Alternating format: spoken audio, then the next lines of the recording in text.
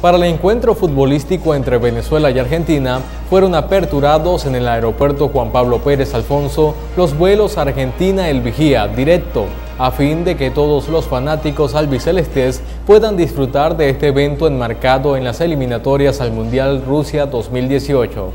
Wilfredo Toro, gerente de seguridad del ZAPAM, informó que aunque está confirmado, los vuelos podrían variar. Eh, tenemos eh, confirmado la llegada del vuelo de Argentina directo a Argentina Vigía.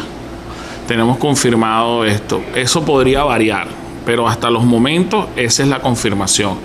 Eh, Argentina Vigía. Este aeropuerto está en la capacidad para atender esa operación.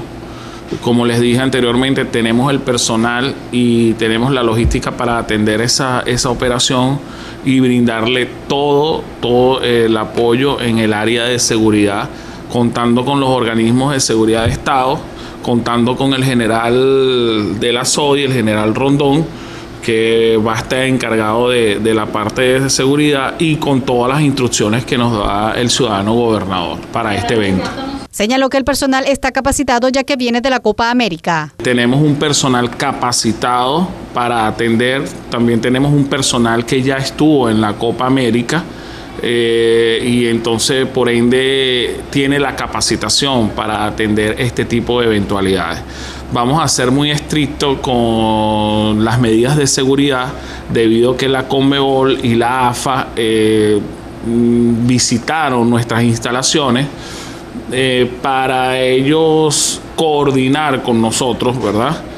Y por órdenes también del ciudadano gobernador, eh, coordinar todo lo que es el área y el aspecto de seguridad para estos jugadores. Destacó que el aeropuerto cuenta con instalaciones óptimas y por ello recibirán a jugadores y aficionados. Se habla de un promedio entre los jugadores y aficionados que van a venir a apoyar al equipo de Argentina solamente se habla alrededor de como 600, 800 personas.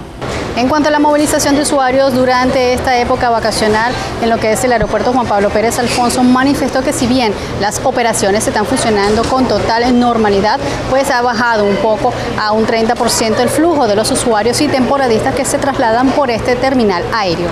Para Noticias P, Adela Lozada.